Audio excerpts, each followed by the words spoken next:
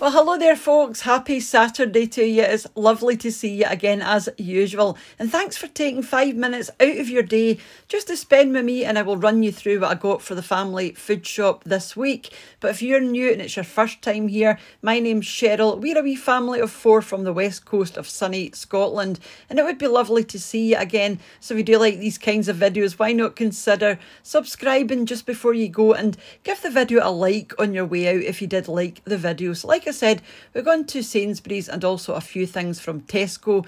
So I was 73, 63 in Sainsbury's and about £12 in Tesco. So a wee bit higher than normal, but yeah, you've just got, you, you kind of expect that when you go to these kinds of shops. So I got a few pots of double cream for a couple of recipes that I've got coming up. Also needed single cream as well, which I don't use very often. Mr. What's for Tea's strawberry trifles. So that's just basically strawberries and fruit jelly and custard and cream on the top for those who have asked. A couple of these wee fruit corners, so you've got yoghurt in one corner and the party is on the other side. It's usually some kind of fruit puree or biscuits, and you just mix them in together, and they are lovely. Those were on offer. And then I've got a wee leek here, the longest, skinniest leek I think I've seen in my entire life. So that is for a recipe as well. A bag of onions and then some bananas as well. Mr. What's for Tea likes a banana. I'm not so keen and then a head of cauliflower, and then the smallest cabbage I think I've ever seen in my life. My hands are quite small, and this thing is about the size of a large orange, so yeah, not super chuffed with that. Some garlic bread, and also a garlic bulb. And then we're going to be having stir fry, so I've got some stir fry mix, and then six eggs as well. And these ones are, you know, they're really nice. The, the yolks are really orange. I needed some smoked cheese for a recipe that I've got coming up. This is for a sort of smoky cheese sauce that I'm going to be doing. And then I was looking for grated Parmesan, couldn't find any. So I got this one. I don't imagine there's going to be much difference. A pot plant. this, is, this is my parsley plant. I love parsley, but it does end up going on everything if I've got one to use up.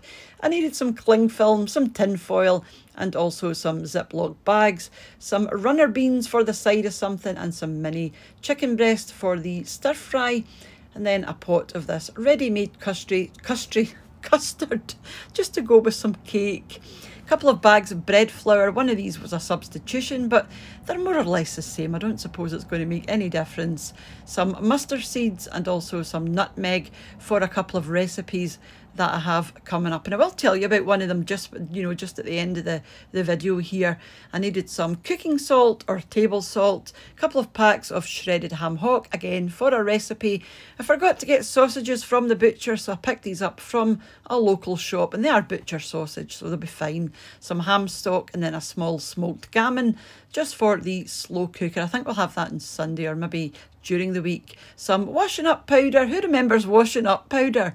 and then some sandwich bags. These chocolates are for a wee gift for a friend of mine, and I thought they looked really nice. You know, they're inspired by dessert, so yeah, I would like those for myself actually, but these are for a wee gift.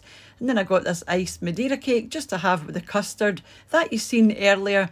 Now, these wee Lindt balls are one of my favourites. These strawberry and cream ones are lovely. Got this for Mr. What's for tea. This pasta and sauce here, I'm going to try and copy this for a recipe. And I've actually hunted down the exact pasta that they use in this. I got it on Amazon and this is it here. It was only, I think it was 170 or 180 a bag with free delivery because obviously I've got Amazon Prime, so bargain. And then some homemade chips for the freezer and then some of these crisps as well for the snack drawer. So like, and then Jasper snacks just at the end. So like I said, I'm going to try and recreate the Batchelors pasta and sauce because it is lovely. And it's a kind of savoury white cheesy based sauce and you've got leeks in there and ham in there and that lovely round pasta. So I'm going to give that a go and that might be coming up soon, depending on how it goes, of course. But I was really chuffed, you know, at finding the exact pasta because I think these things matter. You know, if you're trying to recreate something that already exists, try and get as close as you can to the original. So that was everything that I got, my wee rant about my pasta. So thank you very much for watching. If you're leaving at this point. And thank you all for your support over my Patreon page, to the channel members here on YouTube as well, and for you all for watching, leaving your lovely comments, and for those that share the videos as well. You know, I'm just blown away by the support that I get, and you're all marvellous. So thank you all for watching, like I said. And I will catch up with you during the week for another wee recipe, or shopping, unbagging, or even back on Sunday for meals of the week. So whenever you choose to join me again, have a wonderful rest of your day and I'll see you off us soon back here on What's for Tea. Bye now.